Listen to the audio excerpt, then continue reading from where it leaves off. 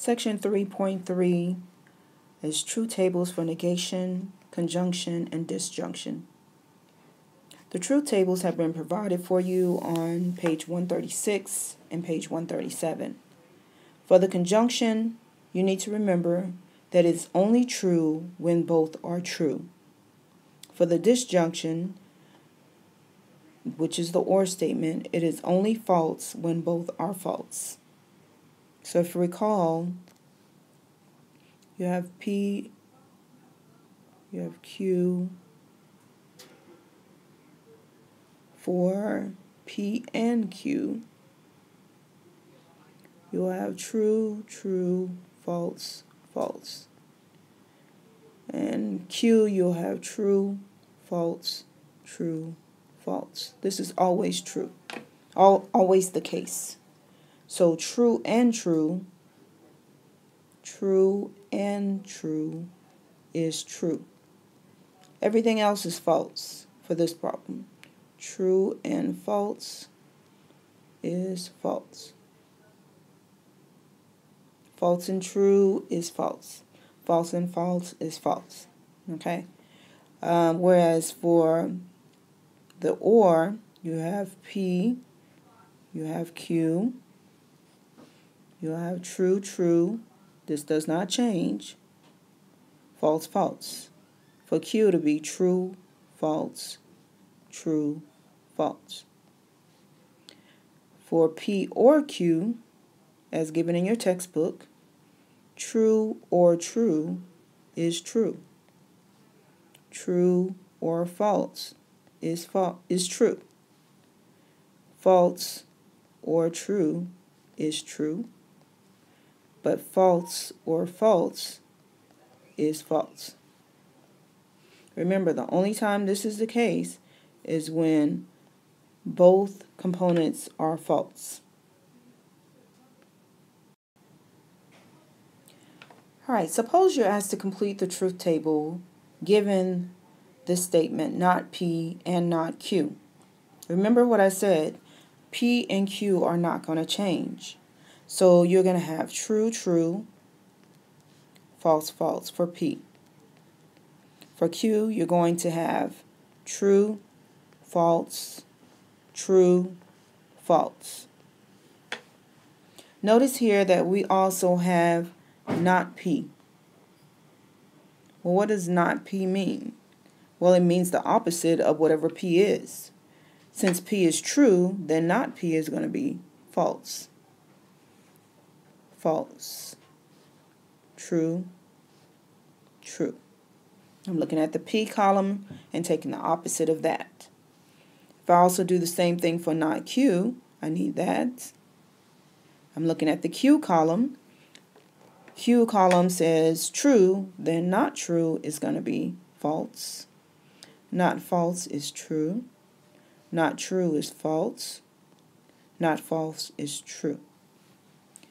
All right. Then I put them together, not P and not Q. We're looking at this connective, and.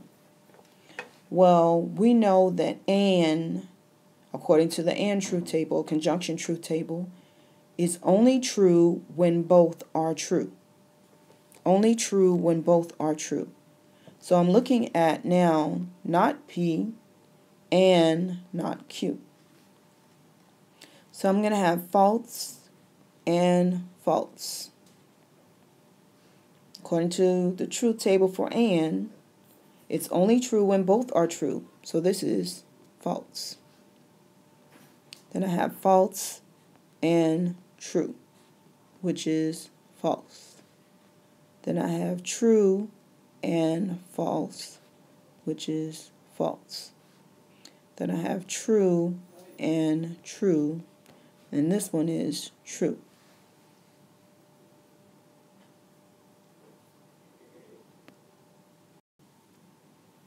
This time you're asked to construct a truth table. Notice that we have two different letters.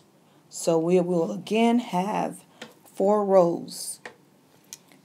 Always you're going to have a column for P, you'll have a column for Q.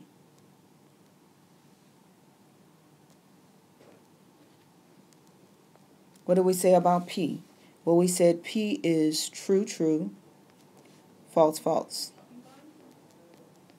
And we said Q is true, false, true, false.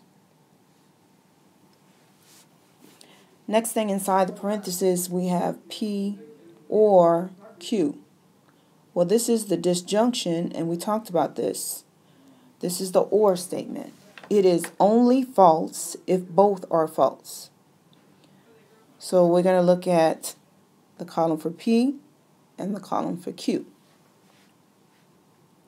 So true or true is going to be true because we said it's only false if both are false. True or false is true.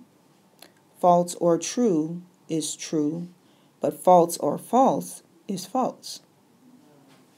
It's only false if both are false for the or.